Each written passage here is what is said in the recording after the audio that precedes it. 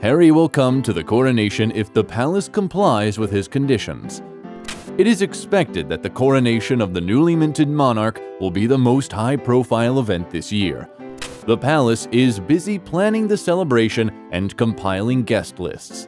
The media learned that the king excluded the scandalous offspring from the list of invitees. However, Harry and his family can still come to the coronation as private individuals.